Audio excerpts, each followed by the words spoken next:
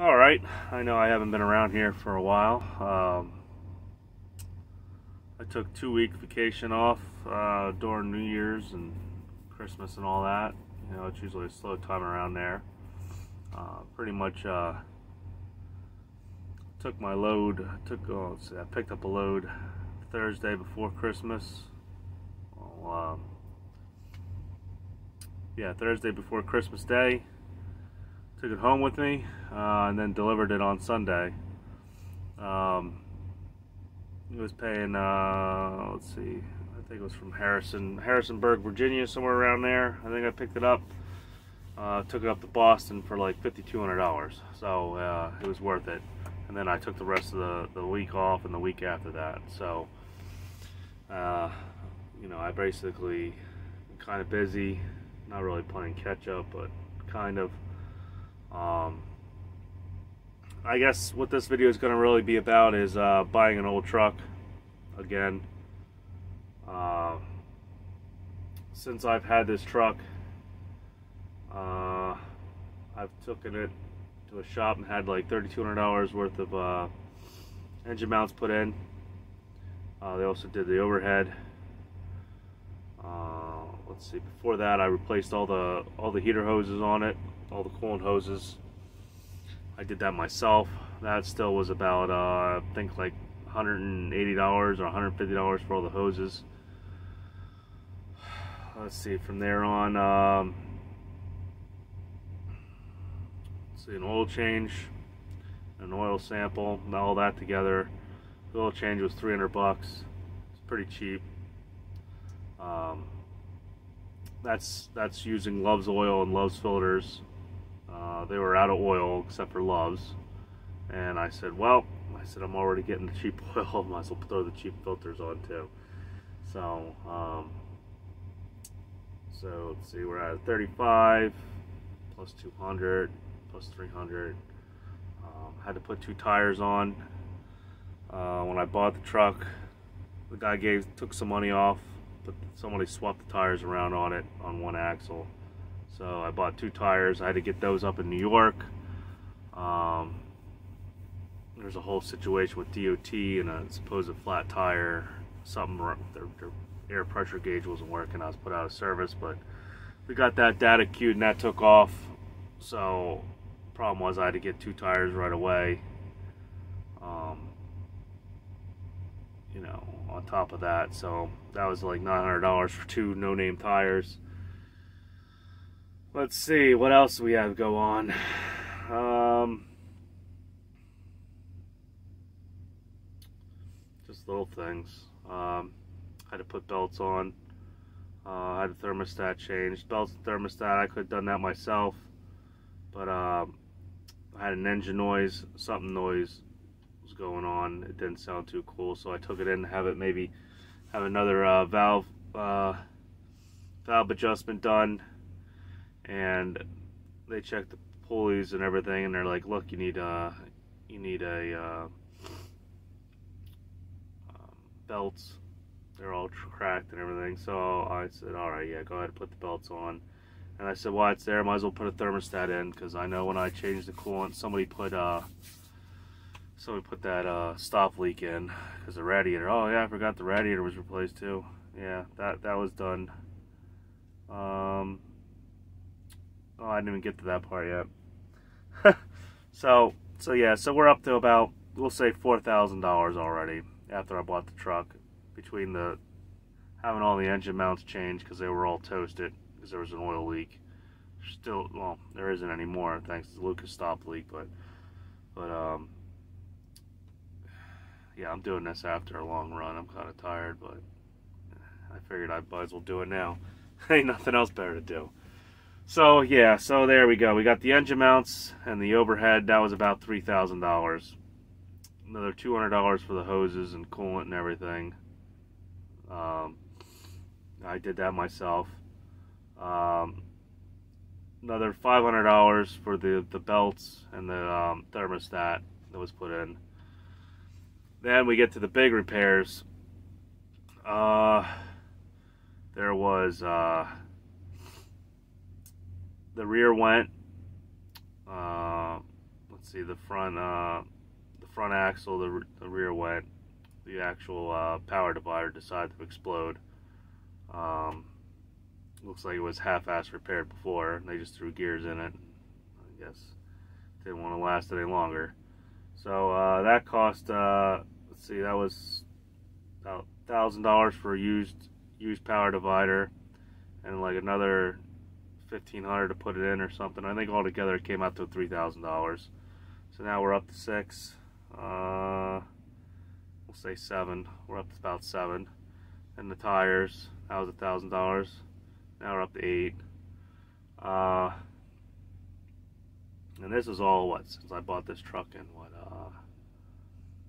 August. Bought the truck in August, I think. So now we're up to eight thousand. Then. Uh, then the other rear uh, had a crack in it, started leaking, uh, started leaking differential fluid over by the spring. I did that myself uh, with the help of a buddy's uh, three-quarter inch Milwaukee Impact and a JLG high lift um, at a at a shop um, where I parked the truck at. The guy graciously lets me use it. So right there was a uh, that would have been probably if I had somebody else do that, it would have been another three thousand dollars. They would have to pull the rear out, weld the crack up, or either that. Actually, the place place I was taking the truck to actually uh, wanted to, you know, I asked them, you know, what would they do? They said they just replace the rear with a junkyard rear or whatever. So yeah, so right there's another three thousand dollars. So now I'm up to like what 11, 12. Uh, yesterday I just spent another three hundred. I spent three hundred dollars literally yesterday and had a uh, had them do a wheel seal. and I'm up in Maine right now, and I get out do my pre-trip again, and I smell smell gear oil again. So I walk around, and I can see a little bit of black gunk on my one axle again. My other axle's leaking now, the front and the front passenger side. I just had the driver rear done. Now the front passenger axle's leaking wheel seal so right there hopefully I can get back home without uh, getting stopped at a weigh station either that I'm gonna stop at the TA up here and um, uh, actually I don't even know if they have a shop the TA up here in uh, what is it called uh, where is that TA at oh it's in New Hampshire yeah I think the TA is in New Hampshire so I'm gonna stop there or I'll check to see if they stop a shop maybe I'll let them do the freaking wheel seal at that rate, when I get back, I'm just gonna have them, have uh, my guy do the other two, and uh, basically do the brakes all the way around too. They're still good, but might as well have the brakes match. So, yeah. So right there. So in a matter of what, August, September, October, November, December, January. Actually, no, I might have bought the truck in September. Actually, so September, August, November, uh, December, January. So in a matter of five months, I've put $12,000 in this old truck. Now, uh, it's up to you how you look at that. So far, I haven't had any motor work or anything really like hardcore go wrong. I'm not saying that it probably doesn't need it.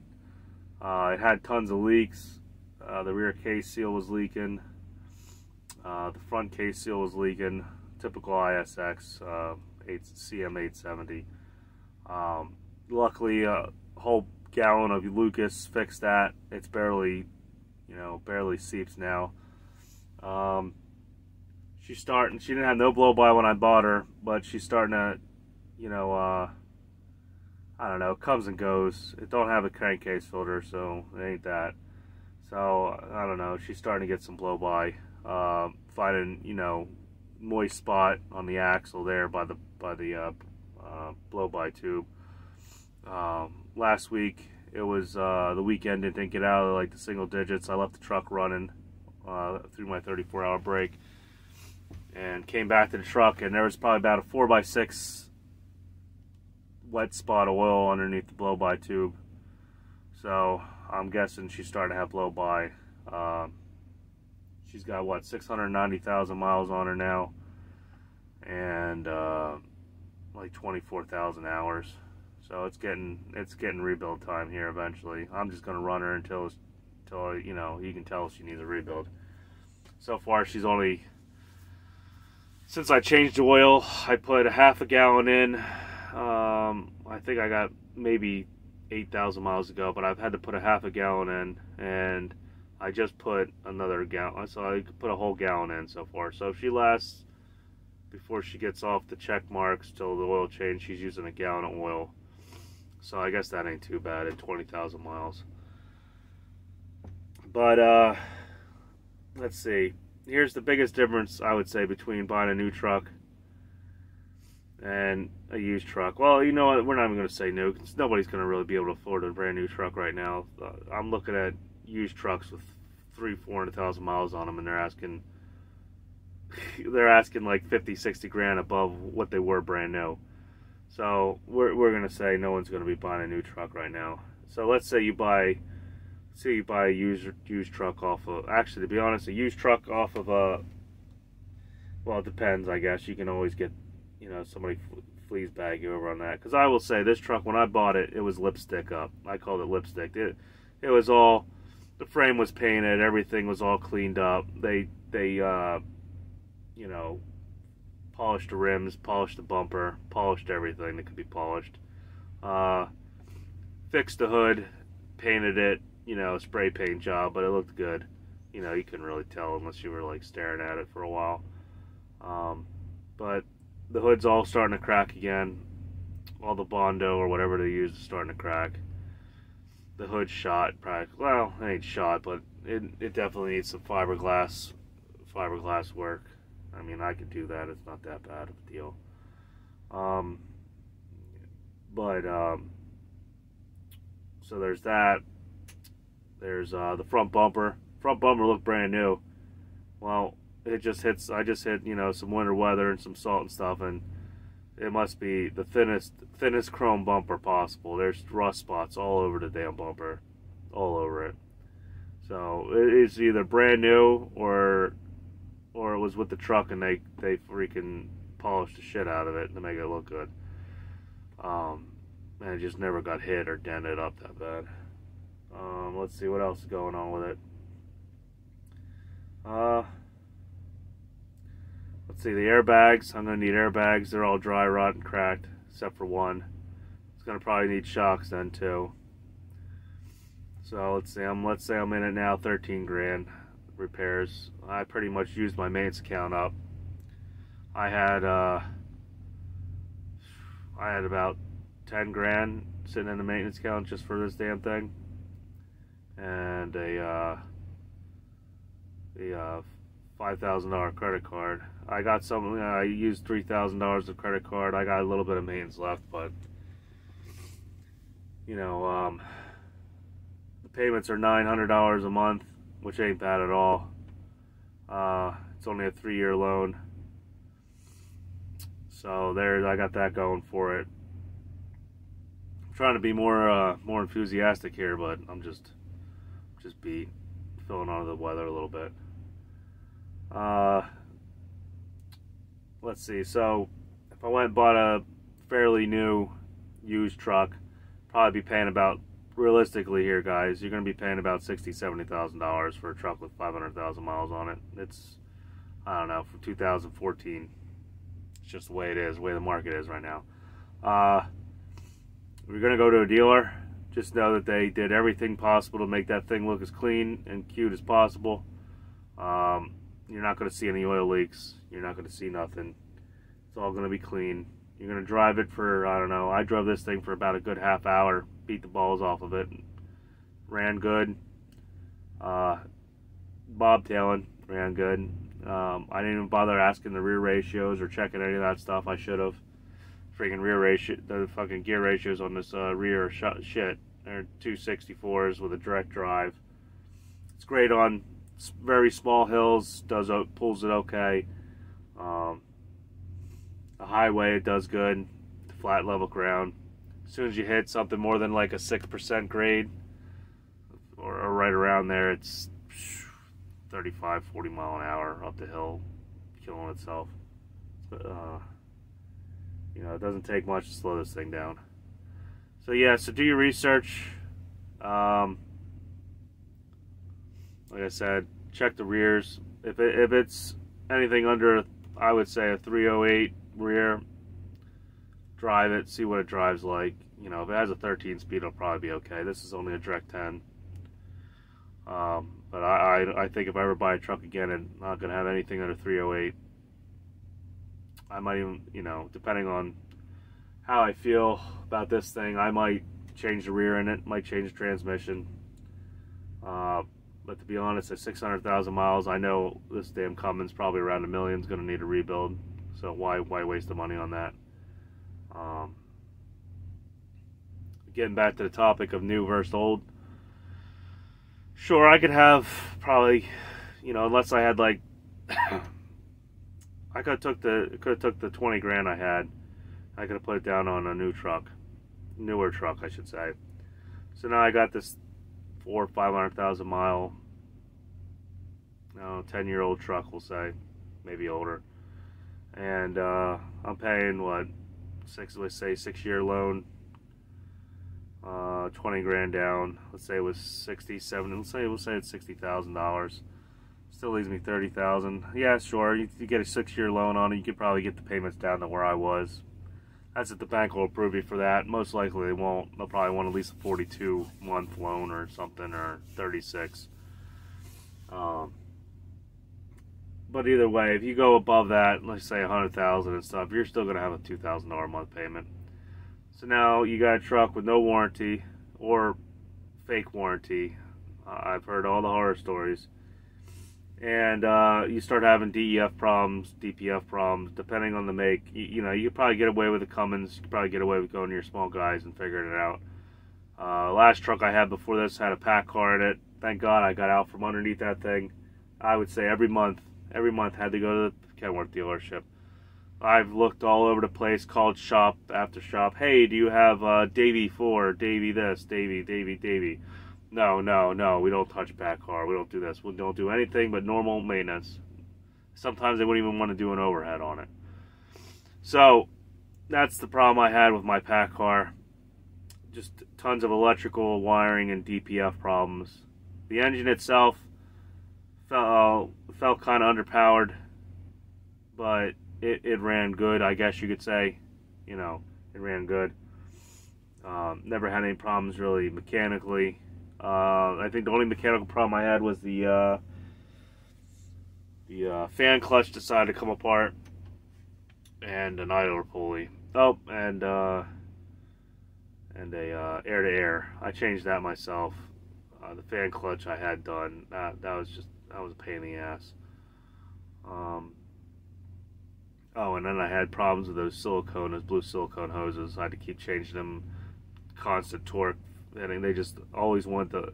After I shut the truck off and they were hot, they always wanted to, you know, after the truck cooled down, they always wanted to see. So I know this is getting kind of long. I'm on 20 minutes here, uh, just about. So that's my little video for tonight on the uh, glories of being an owner operator. Uh, ship breaks. Uh, I'm hoping this damn girl quits nickel and dime me here uh, soon because you lose a lot more than just a couple hundred bucks. Um, everybody's busy right now. Uh, I got I got this truck in to do a wheel seal after I got back. Uh, I dropped off a load, had to drive back like 30, 40 minutes. And then I had to wait like two hours for them to get a truck out of the shop. They only had a four bay shop and they're they're full. They're doing the one truck's getting an engine mount, engine done. I mean, engine done in it. Another truck had transmission done in it, and then they were doing something with two other trucks, so I had to wait. Um, I called the TA up. They told me like, realistically, the guy's like six to eight hours. So, yeah, you know, every time I've called TAs up lately, it's been, you know, five hours, six hours, whatever. So you know, I lost I lost a day of pay for a wheel seal. I made up for it kind of. I got one load in the middle of the night, just about for 650 bucks. But you know, that's still nothing. Basically, you go down you go down a day, if it, you're going to lose whatever whatever it costs you in parts and labor, plus we'll say easily make fifteen hundred bucks a day. So let's say you wasted I wasted what 300 dollars to replace a wheel seal and um, and shoes, uh, and uh, what sixteen hundred bucks I lost. Could you know doing a run in a day? So technically, basically, I lost two thousand dollars. If you really look at that way. Uh, I lost revenue and I lost out on the you know repair. So I'm gonna try to make some more videos. I don't know. Um, been kind of bummed out. I'm making good money, but I don't know. Every time you turn around, there's something wrong now. Uh, at least once a week. Uh, let's see, what was it last week? Uh, well, yeah, I had the uh, the truck in, you know, after the holiday and everything. You know, I still took two weeks off. You know, I brought the truck in, and it still took them a while to look at it. So I lost. Technically, I didn't want to take the whole two weeks off, but I did. So, you know, there's still costs come out. You still have the uh, insurance and trailer rental and everything. So, you know, even though I had money sitting in the bank and everything was good, and you still start out again in the hole. So, like a whole week, I worked for nothing, just about. So uh, this is what the third week, third week of me like actually running again without too many problems. So uh, comments, questions, whatever you'd like to know. Um, I'm gonna probably make a better video than this. This is just me rambling right now after driving for about nine hours. So uh, yeah, I'm gonna hit the sack. So.